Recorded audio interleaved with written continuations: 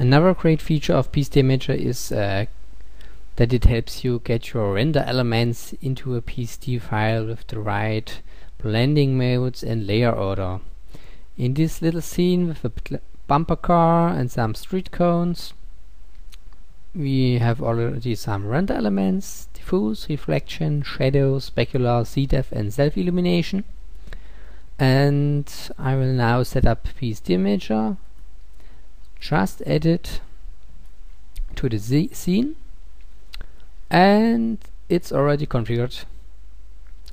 PSD Manager has automatically assigned the right blending modes and sorted the layers so diffuse is at the bottom, specular, shadow reflection, self-illumination on top and our ZDepth channel will be exported as a PSD channel.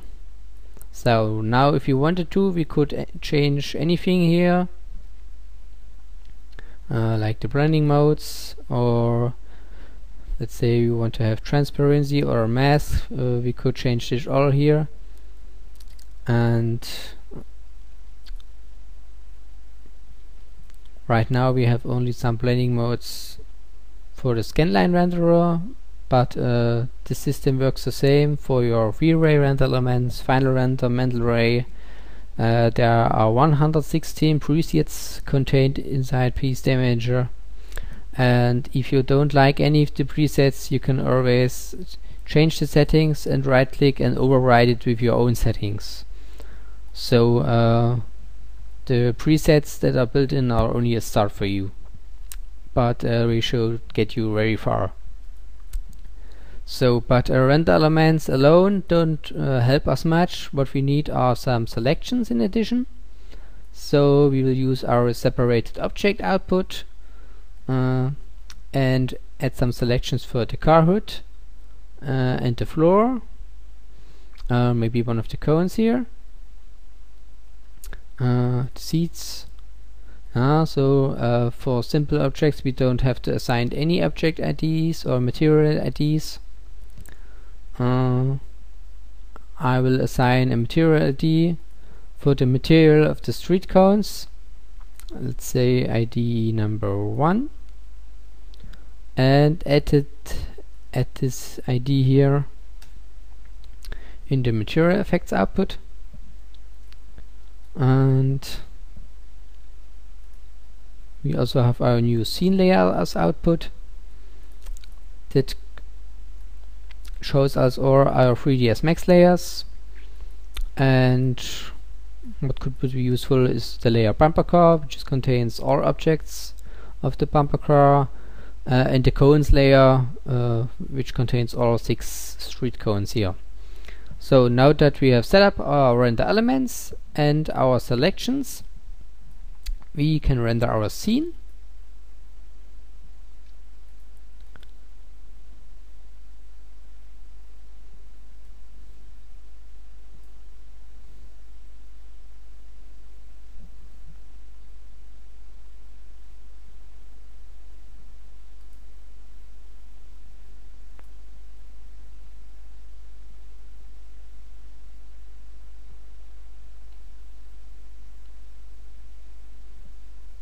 So once the render finishes, PSD Manager starts writing out the PSD file, uh, which is pretty fast.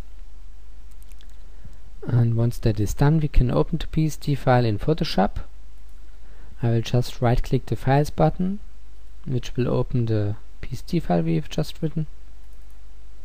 And here is our nicely set up PSD file containing the render elements, diffuse, specular using the linear dodge blending mode, shadow, reflection, self-illumination, and the render on top. Uh, there are some slight differences uh, which I think is down to this uh, multi-layer shader here which isn't properly supported but the point of render elements is anyway uh, that you use them as building block and they don't always resemble 100% your rendering.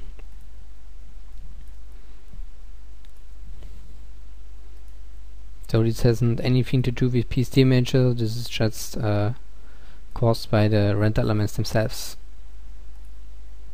so we have the selection for our cone the floor and the hood of the bumper car and here's our material ID selection which is pretty interesting because as you can see it not only not only contains the objects themselves these street cones but also their reflections.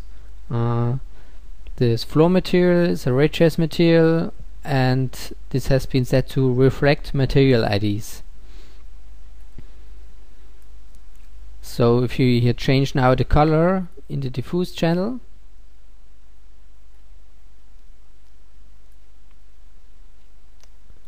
Uh, the reflections will not change now because the reflections are actu actually in the refraction and re render element. Okay I will turn them into red. And now repeat the same for the reflections using the same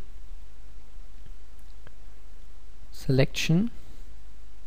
And you see now I will change the reflection until they will match. So okay uh, what I don't like here is the is the floor because the reflection is pretty strong I could just uh, tone the reflection down. But uh, since this is a bumper car course this should actually be pretty stretched up. And so I will just blur the floor select it first and then apply the Gaussian blur filter to the reflection element. And we can make this pretty strong and now I have now some nice blurry reflections which would have taken a long time if you would just render them from 3ds Max and here in post it just takes two seconds to add this.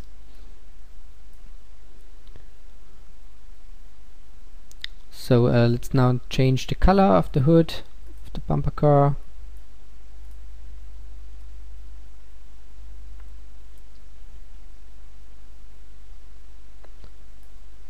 same workflow as you have just seen with the stitch cones. Uh, see, maybe this orange tone. And what I then look don't like here are some of the shadows. Uh, there are some artifacts here and the shadows are a little bit edgy so we will just smooth the shadows here. And here's another area where the shadow map didn't work out how it should. And this all just takes a few seconds to change in post and we don't have to re-render anything. And once we are pretty much happy with the results uh, I could also change here the shadows of the bumper car maybe also blurred it a little bit.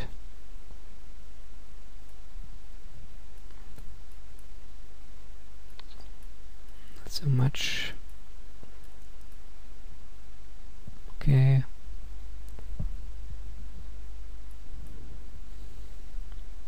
So now I'm pretty happy with the result and want to add some depth of field uh, I will create a merge copy of the results here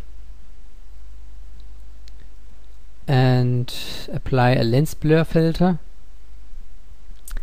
And we will use the ZDepth channel we exported as a render element and pick the point where we want the blur to start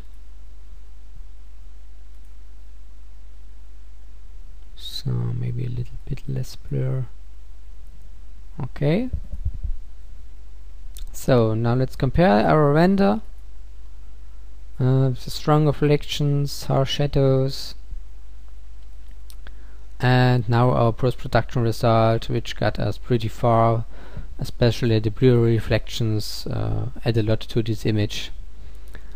So as you have now just seen it's pretty easy to set up your render elements using PSD PSDimager because of the built-in presets and together with these selections you can change pretty much anything in Photoshop or After Effects, whatever application you use to edit your PSD files. Thank you.